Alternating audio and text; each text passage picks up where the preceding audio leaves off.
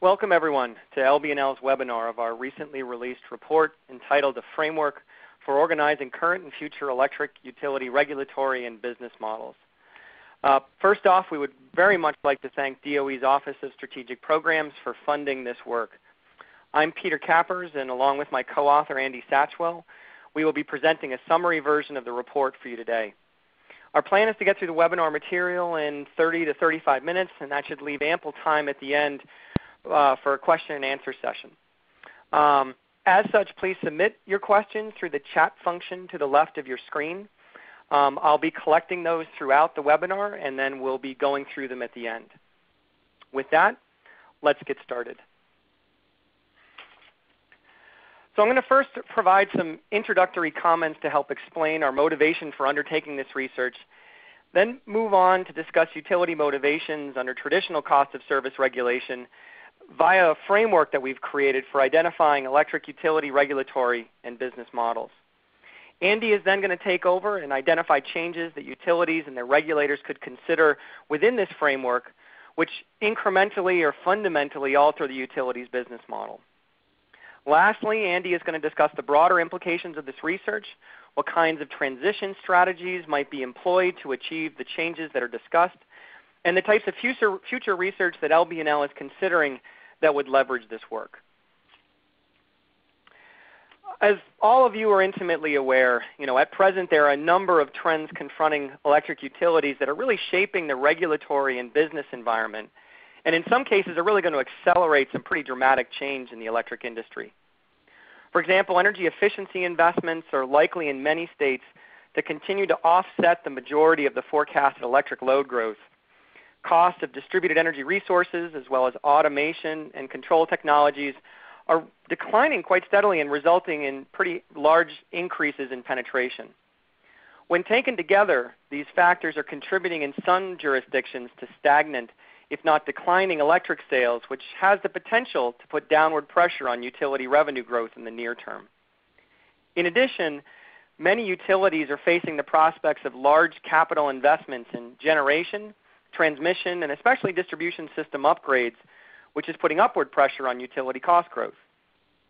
Many regulators, utilities, customer groups, and other stakeholders are seriously reevaluating regulatory approaches and roles in light of the potential for some pretty dramatic adverse financial implications for electric utilities in the context of this environment. Now, there's a considerable volume of research and advocacy targeted at defining, analyzing, and in some cases even promoting alternative utility business models and regulatory incentives. Such activities can really be best categorized by each of the stakeholder groups and their unique perspectives. First, we've got utilities and especially utility industry investors who are chiefly concerned with managing regulatory and investment risks in an era where increased investment in system infrastructure will be likely. Alternatively, energy efficiency, distributed energy, and environmental advocates maintain that the existing utility business model may be misaligned with certain clean energy public policy goals. Their concern is that this will limit the likelihood that such goals will be achieved.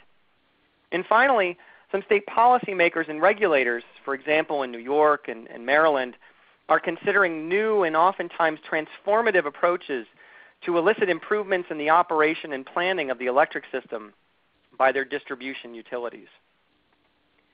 Much of the previous research in this area has really examined questions about potential misalignments between regulatory and utility business models in a desired future state of increasing customer adoption of distributed energy resources and declining sales due to effective enabling EE policies. In addition, prior research has posed more fundamental questions concerning just the viability of the current utility business model if such a future state does in fact come to reality. Now, in contrast, we are focusing more attention on the link between regulatory and utility business models and the end goals of public policymakers, a topic that in our view has really received insufficient attention in the previous literature. Therefore, we're presenting a more holistic assessment and a consistent framework for depicting utility profit motivation and profit achievement aligned with public policy goals and customer technologies. It's our belief that this approach could be very useful to industry stakeholders in order to provide a lens through which to evaluate specific proposed changes to current practices. Additionally, the implications of changes to existing regulatory paradigms and business models should be included in assessing the viability of any newly proposed approaches. Next, I'm going to provide a brief background on cost of service regulation and introduce our framework that depicts how regulation incentives and motivates an investor-owned electric utility as a way to set up our subsequent discussion of how potential changes to the business model could better link to the end goals of policymakers in the future.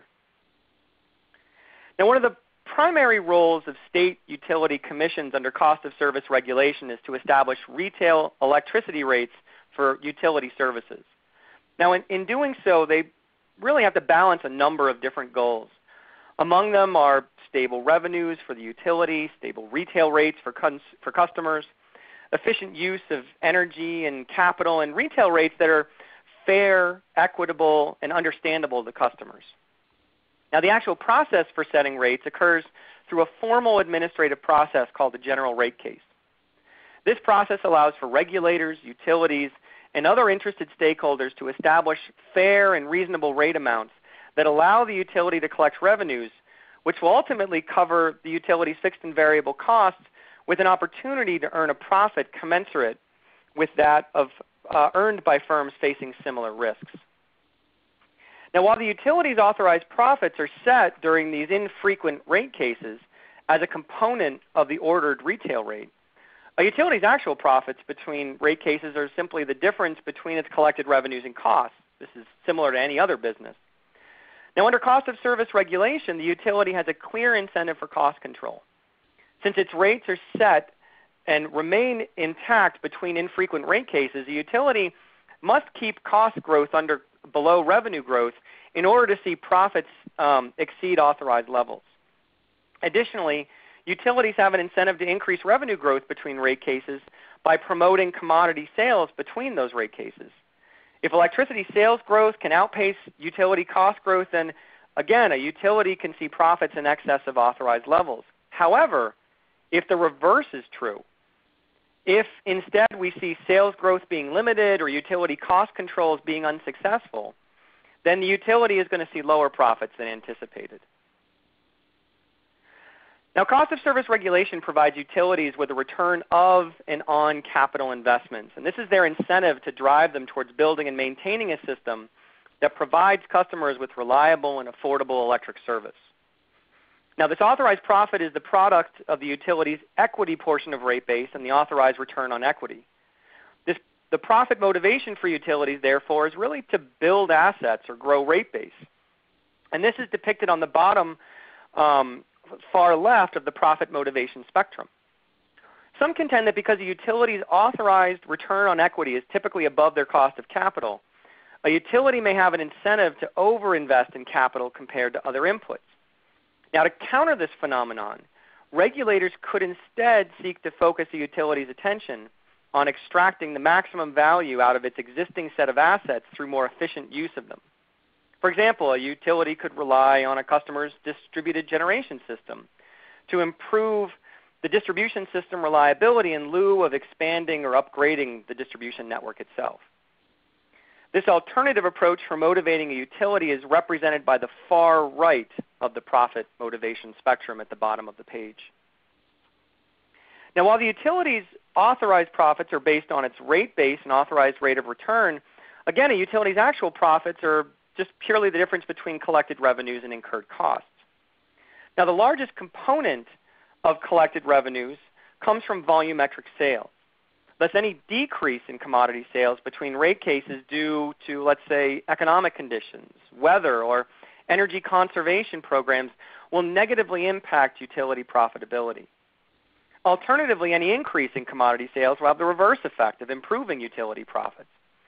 Now, this concept is referred to as the throughput incentive and is represented at the far left of the profit achievement spectrum located at the bottom of the slide. Regulators could instead redesign retail rates to focus exclusively on energy service delivery and not on commodity sales. Now, such an approach would incent the utility to increase profits through greater provision of these value-added services to customers instead of promoting increased sales. This would be represented at the far right end of the profit achievement spectrum, again at the bottom of the slide. Now, when our profit motivation and profit achievement spectrums are actually taken together, we can create a simple and elegant framework for exploring movements from the traditional cost of service model to other models that promote greater service provision or greater extraction of value from existing assets. And with that, I'm going to turn it over to Andy. Thanks, Pete. So our characterization of traditional cost of service regulation up to this point serves as a conceptual foundation for the framework. But in reality, the past century of utility regulation has resulted in a patchwork of changes to better align utility profitability with different policies and technologies. Incremental changes to cost of service regulation have addressed specific challenges to the utility industry, for example, volatile fuel prices and major cost overruns for large capital projects. There are numerous what we consider rate-making alternatives that could be considered incremental changes ranging from mechanisms for more timely recovery of fuel costs and capital expenditure costs to bill riders or trackers that recover costs associated with particular projects or programs, and even to broader alternative regulatory approaches like forward test years. We limit our discussion in this section of incremental changes to those rate-making alternatives that address profit motivation and profit achievement in the present environment of low load growth and inc- increasing penetration of distributed energy resources. As Pete discussed earlier, profit achievement for electric utilities between rate cases is driven largely by revenue collection based on volumetric commodity sales and demand. Uh, the figure in this slide shows the proportion of a typical residential utility bill based on a sample of southwestern and northeastern Uh, electric utilities. So you can see in the figure the portion of revenues collected via a fixed charge on a residential customer's bill ranges from less than 2% to almost 20%. This results in the volumetric consumption driving the vast majority of the residential customer's bill, or 80 to 98%. As distributed energy resources are introduced, they will generally reduce the volume of the utility's electricity sales. For example, energy efficiency results in lower levels of electricity consumption but without commensurate reductions in costs. That, in turn, reduces the utility's collected revenues and achieved profits, resulting in what we call a revenue erosion effect. Customer-sided generation reduces utility sales and impacts utility profit achievement in a similar fashion. This reduction in collected revenues is especially pronounced between rate cases when the retail rate is fixed. Rate-making mechanisms to address profit achievement are intended to make the utility indifferent to resources that negatively impact revenue collection between rate cases. Such rate-making approaches better align utility business models with public policy goals for increased efficiency and distributed energy resource deployments, as the utility is no longer incented to oppose such clean energy public policy goals. But it's important to note that the approaches do not necessarily incent the utility to achieve clean energy public policy goals. A variety of mechanisms exist today to address the revenue erosion effect, including rate designs that rely on a higher proportion of revenues collected via fixed or demand charges, compensating the utility for lost revenues with lost revenue adjustment mechanisms, and breaking the link between levels of commodity sales and collected revenues with forms of revenue decoupling. These rate-making alternatives were introduced several decades ago as a way to mitigate the real or potential negative uh, financial impacts from energy efficiency, and they continue to be pursued today as distributed energy resource penetrations increase. Incremental changes to rate making move the utility's profit achievement upwards in our conceptual framework, but we don't consider the changes significant enough to fundamentally shift earnings on incremental investments from volumetric commodity sales to provision of services. For regulated electric utilities, profit motivation is largely driven by investing in assets like generating plants and transmission and distribution systems. Today's electric utility industry is a capital intensive industry predicated on central station generation with large delivery systems to transport the electricity to customers. A proportion of a utility's capital expenditures are growth related, because they're driven by increasing demands and new customers in its service territory. Customer investments in efficiency and distributed generation reduce that growth-related proportion of capital expenditures. Under these conditions, the utility is limited to only incremental capital expenditures for replacing aging infrastructure or to meet new system requirements not associated with increasing loads. Distributed energy resources, therefore, impact utility profit motivation by reducing the opportunities for the utility to invest in assets, what we call the lost future earnings opportunity effect. While decoupling and other similar mechanisms are intended to address the revenue erosion effect, there are separate mechanisms intended to mitigate the lost earnings opportunity effect. For example, targeted shareholder incentives can provide positive earnings opportunities for the utility's achievement of energy savings and other clean energy public policy goals that may stand counter to a traditional utility business model. Shareholder incentive mechanisms can be designed in numerous ways, and they've been used for several decades to provide financial rewards for the successful achievement of energy savings goals. These mechanisms typically fall into three general categories noted here in the slides, and we detail them more in the report. Any of these shareholder incentive mechanism designs could be applied more broadly to utility-administered distributed energy resource programs. Shareholder incentive mechanisms, as an example, are intended to incent utilities to achieve clean energy public policy goals. Such changes to the utility's regulatory model reflect a profit motivation based on a combination of assets and extraction of value from those assets, but do not represent a fundamental change to motivate regulated utilities towards profits based predominantly or exclusively on value extraction from existing and new assets. For the purposes of our framework, we place the rate-making mechanisms that I just described as incremental changes in a single quadrant, quadrant 3, bounded by profit motivation dominantly through assets and profit achievement dominantly through commodity sales. Anecdotal experience with these sorts of rate-making mechanisms in the context of customer-funded efficiency programs shows they can be effective in delivering benefits to ratepayers. Of the top 15 states in the 2014 ACEEE scorecard, 13 of those states have either a lost revenue recovery or shareholder and mechanism in place, or both. These incremental changes to traditional cost of service regulation are often made by regulators and policymakers in isolation to address either a particular policy, for example, an energy efficiency resource standard, or a particular utility investment, for example, advanced metering infrastructure. And they may be applied by layering various mechanisms. However, these changes are not, in our framework, comprehensive enough as to make distributed energy resources and achievement of clean energy public policy goals a core function of the utility. A more holistic and integrated approach by regulators may be necessary to make clean energy public policy goals complementary rather than in competition with the utility's profit motivation and profit achievement. We're now going to use our framework to characterize what we consider to be more fundamental changes in profit motivation and profit achievement to align with clean energy public policy goals. I'll discuss the placement of these more fundamental changes within the framework and potential regulatory and policy implications.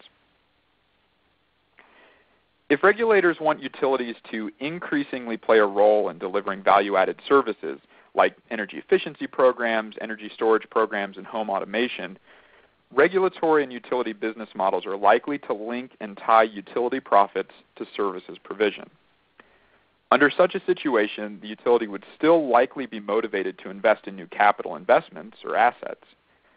However, the particular capital investments would be made to drive increased delivery and enablement of utility or third-party services, which will generate larger achieved profit. Regulatory and uh, business models focused on the utilities providing services rather than selling a commodity are largely conceptual at this point. However, there are some proposals emerging for distribution system operators that would potentially change the role of the incumbent electric utilities and fit within quadrant 2 of our framework. The model suggests a different set of roles than the traditional utility and may require alternative approaches for how the utility recovers revenues. And importantly, aligning utility profit achievement with clean energy public policy goals does not necessarily result in meeting those goals. Therefore, we think utility regulators are going to continue to play an important role in monitoring performance and enforcing compliance. Among the fundamental issues regulators must address when evaluating the utility's role in providing value-added services are the impacts on competitive markets for those services and the risks to ratepayers of expanding utility investments into new areas. As an alternative to direct competition, utilities may partner with third parties to provide value-added services to customers. This is currently used in some parts of the country for energy efficiency programs. Utilities will face new risks as they move planning and operational functions towards delivering and providing particular value-added services. Customers may face new risks from needing to manage electricity consumption in different ways, including choosing between utility and third-party providers for desired services. Additionally, paying separately for energy services may change customer decision-making and the customer economics impacting adoption of distributed energy resources. And while increased competition for services may lower prices, the increased choices may pose additional risks for customers, especially in underdeveloped services. Utility revenue for value-added services in the future may be based on such metrics as lumens of light, heat delivered for hot water service, and the size of a solar PV system installed at the customer site.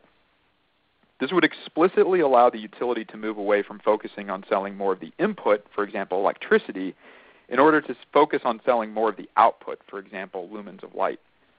Such pricing is common in other industries, including telecommunications, for example, as some mobile phone carriers charge for phone, text messaging, and data services separately instead of charging a flat rate.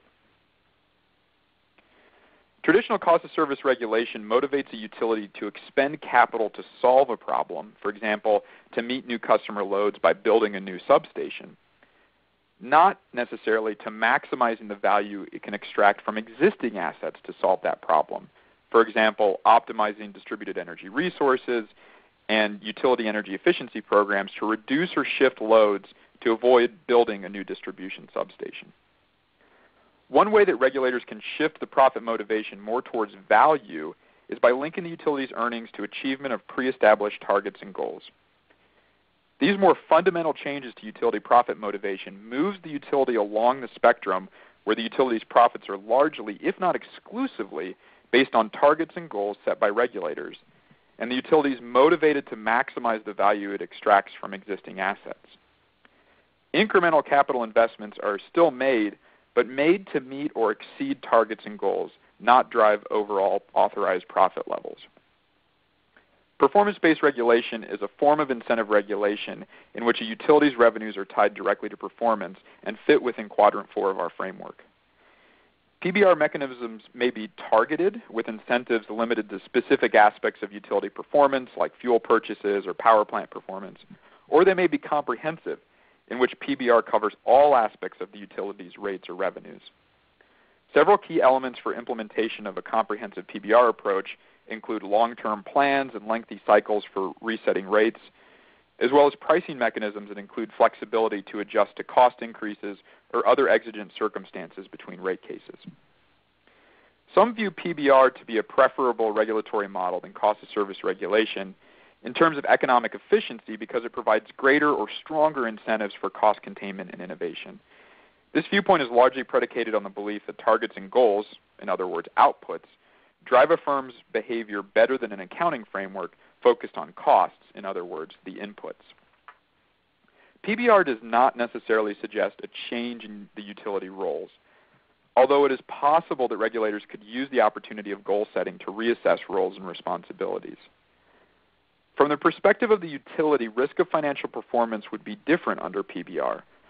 Profit risk for the utility under PBR is contingent on meeting goals, which drives revenue, in contrast to simply the level of sales.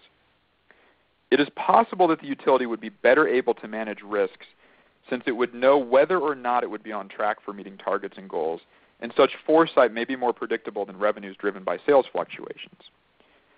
But there's been limited experience with comprehensive PBR approaches in the United States, though there are many and more recent examples of targeted PBR mechanisms focused on particular areas of utility operations. Experience with more comprehensive PBR may be drawn internationally, most notably from Great Britain's RIIO model. Building on and ultimately combining the previously identified fundamental changes results in a services and value driven utility where profit motivation is based more on value than assets, and profit achievement is based more on services than commodity.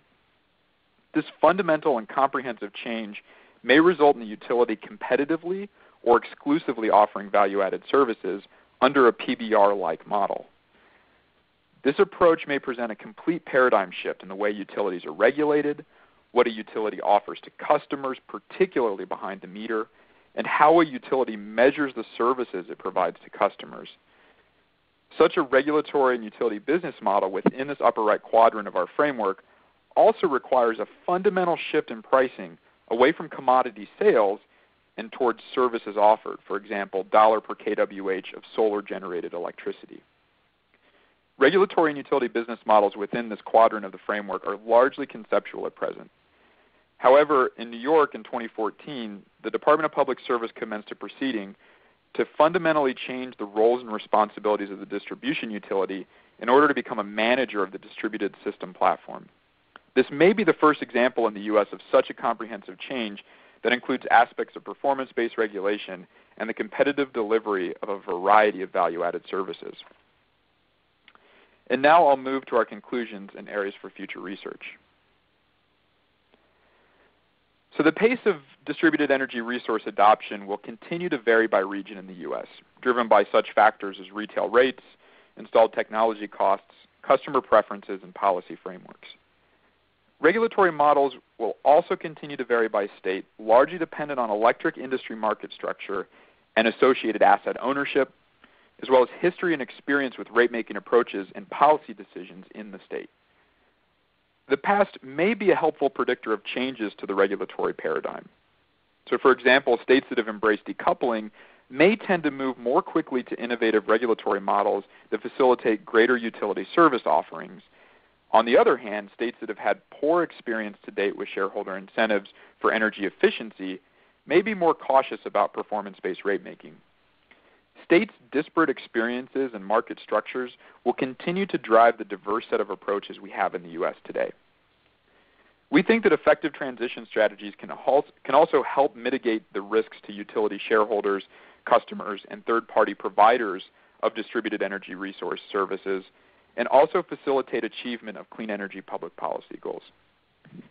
Some key issues that should be considered as part of the transition strategies include market structure and asset ownership, planning and operational responsibilities, utility roles in providing these value-added services, the openness of utility networks, regulatory processes, leveraging past experience, and assessing and ensuring customer benefits. These and other issues are detailed more in the report, and we can talk more about during the Q&A. So many state policymakers and regulators are keenly interested in quantitative analysis of potential future impacts of distributed energy resources on utilities and customers. These impacts are dependent on various conditions, including market structure, the regulatory environment, state and federal policy goals, and rate design. Of particular interest to states are the combined effects of a suite of distributed energy technologies and multiple policies on costs, benefits, and risks for utilities and customers. LBNL has developed and applied a financial analysis tool over the past eight years to explore the quantitative impacts of energy efficiency and distributed resources on utility profits and customer rates and bills. This tool will be used over the course of the next year to look at combined impacts of clean energy policies and technologies, and with more detail of customer-specific impacts. In addition to LBNL's quantitative research in this area, we are commissioning a series of concept papers qualitatively examining issues related to incremental and fundamental changes with funding from DOE's Office of Electricity Delivery and Energy Reliability. The first concept and the papers have been identified, and you can see them here on the slide. Many are underway with expected publication this fall or winter. So with that, that concludes the portion of the presentation, and we'll invite Q&A. As Pete mentioned, um, all lines are muted, and we're doing Q&A through the chat uh, function, which is on the left-hand side of the screen.